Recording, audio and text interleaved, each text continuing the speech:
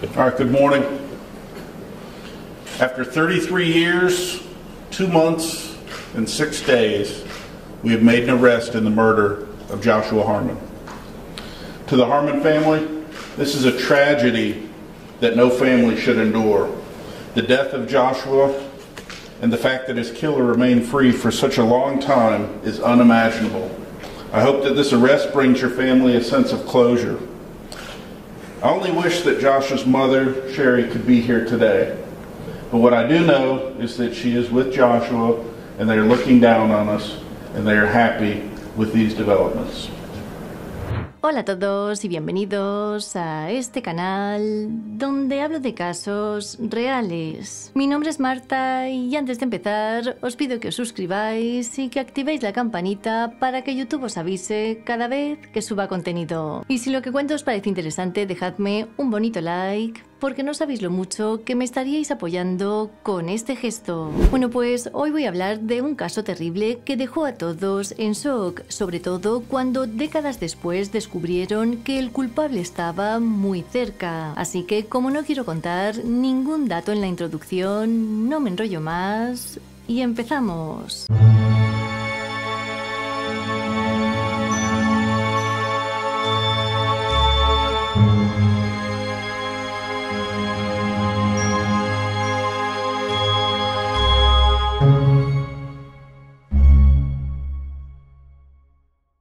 El caso de hoy nos lleva hasta Roswell, Georgia, lugar donde en el año 88 residía Joshua Harmon, de 8 años. De su biografía no hay apenas datos, pero lo que sí se sabe es que para el momento de los hechos, el pequeño vivía con su madre, su padrastro y su abuelo en un complejo de apartamentos en el que llevaban tan solo tres semanas. Este sitio tenía un bosque justo detrás, así que Joshua, como gran amante de la naturaleza, pasaba su tiempo libre explorando y buscando patos. El pequeño llevaba una vida como cualquier chico de su edad, hasta que un día ocurrió la tragedia.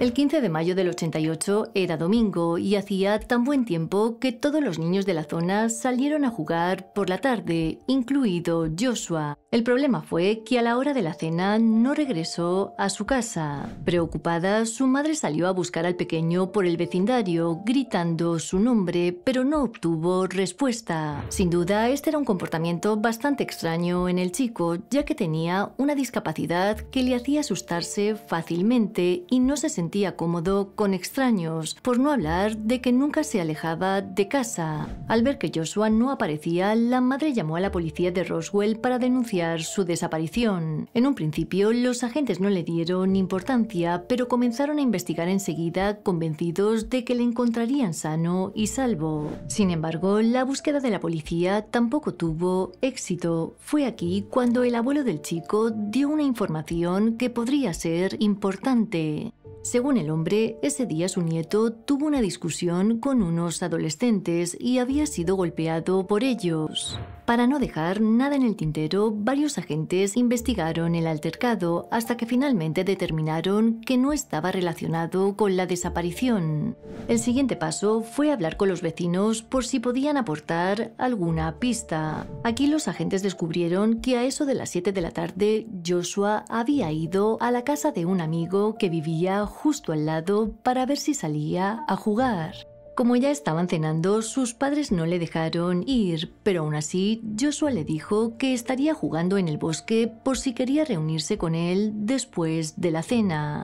Esa fue la última vez que alguien le vio con vida. A medida que se acercaba la noche, la búsqueda comenzó a tomar un tono más preocupado. En un momento dado, los oficiales registraron el área entre su antigua casa y el nuevo apartamento por si el chico se había perdido o confundido, algo que tampoco sirvió de nada. La policía, con la ayuda de 50 bomberos y vecinos, recorrieron los alrededores del edificio de apartamentos, al igual que el bosque, y a la mañana siguiente, con la luz del día, ampliaron a otras zonas. Larry Harmon, el padre biológico de Joshua, vivía a una hora y media de distancia y en cuanto se enteró de lo ocurrido, condujo hasta Roswell para ayudar en la búsqueda. El lunes transcurrió sin señales del chico así que sus padres comenzaron a temer lo peor, pero no solo ellos, y es que los propios agentes cuestionaron su teoría de que Joshua simplemente se había alejado, lo que les llevó a interrogar a personas cercanas a él.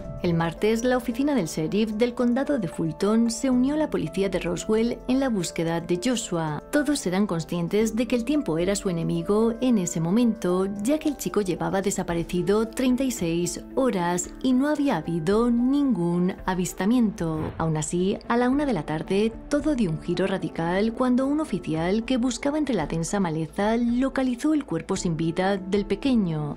Según varios medios, estaba parcialmente vestido y el lugar en el que se encontraba estaba a unos 200 metros de la casa del amigo al que había ido a buscar la tarde de su desaparición. El forense determinó que el pequeño tenía varios golpes y que había sido privado de aire hasta su fallecimiento. Además, estaba convencido de que el culpable le había quitado la vida el domingo por la noche en el lugar donde fue encontrado. Cuando Larry recibió la noticia de que habían hallado a su hijo, cayó de rodillas y se lamentó, mientras que Cheryl, la madre, se desmayó y tuvo que ser trasladada a un hospital donde permaneció inconsolable hasta el jueves. Los vecinos estaban preocupados de que hubiese un asesino entre ellos, así que durante bastante tiempo no dejaron que sus hijos salieran a jugar solos a la calle.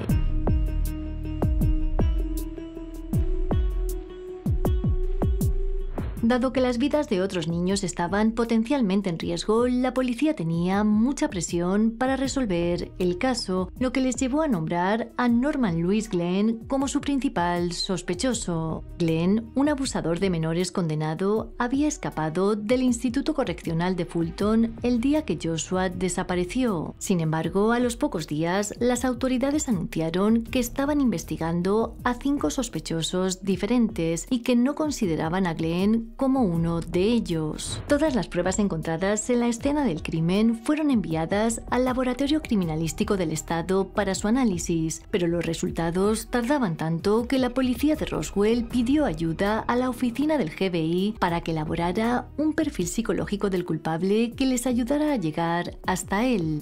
Dos meses después, los investigadores revelaron cierta información del perfil del sospechoso que estaban buscando, aunque la mayor parte era bastante general y podía aplicarse a muchos miembros de la población. El perfil indicaba que buscaban a un hombre probablemente blanco de entre 25 y 35 años, de inteligencia media superior, que vivía cerca de la escena del crimen y que estaba casado por segunda o tercera vez.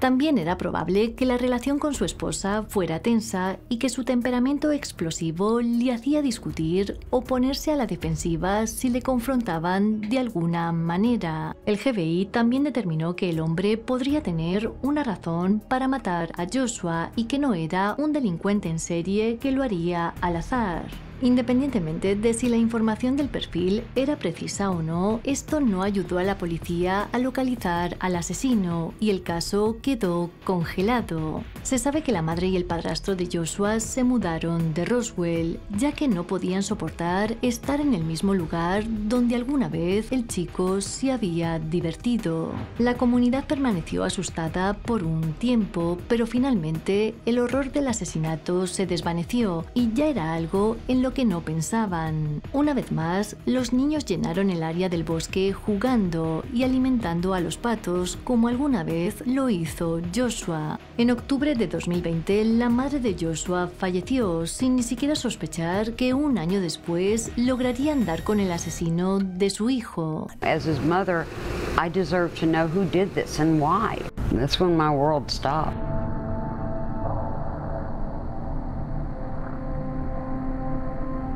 En febrero de 2021, los detectives de casos sin resolver decidieron reabrir la investigación y empezar de cero. Con el permiso de la familia, Joshua fue exhumado y los expertos forenses recuperaron ADN desconocido. La muestra fue ingresada en la base de datos nacional y en julio ya tenían el nombre del culpable. Se trataba de James Coates, un conocido abusador de niños de 56 años al que arrestaron cuando estaba a punto de subir a un Uber. The Roswell Police Department has made an arrest in the 1988 murder of eight-year-old Joshua Harmon. James Michael Coates, age 56, of the city of Woodstock, was taken into custody July 21st and booked into the Fulton County Jail on multiple charges, including murder. Este individuo ya había cumplido una sentencia de 20 años por algo que hizo con un niño en el 93. En el 88, James vivía en el mismo complejo de apartamentos que Joshua, pero nunca fue considerado sospechoso. Tras su detención, fue acusado de varios delitos graves, entre ellos asesinato, abuso y manipulación de pruebas. Por todo ello, a día de hoy permanece en prisión a la espera de juicio, mientras que la policía de Roswell trabaja para determinar si hay más víctimas adicionales. Marlene, la tía de Joshua, dijo que el arresto era agridulce para la familia, pero aún así quiso dar las gracias a los oficiales por su dedicación para resolver el caso. Me gustaría que Cherry pudiera estar aquí, pero también sentimos que ella y Josh chocaron las manos y dijeron vamos a ayudar a sacar todo esto. Hi, my name is Marlene Carlisle. I am Sherry Harmon's sister and Joshua's aunt. Um, I want to speak on behalf of our family um, and thank these amazing people who have worked diligently and very hard and always took anything and everything we had to say to heart and ran with it. And these bulldogs that got through everything and worked for 33 years. Uh, my sister never gave up, ever gave up. She kept going. She made that phone call every few years to the point of probably bothering some people, but she, she was willing and able to do it. And um, I know she's smiling down on everybody here today. And thanks you all so much. And on behalf again of our family, we love you and we thank you. Thank you.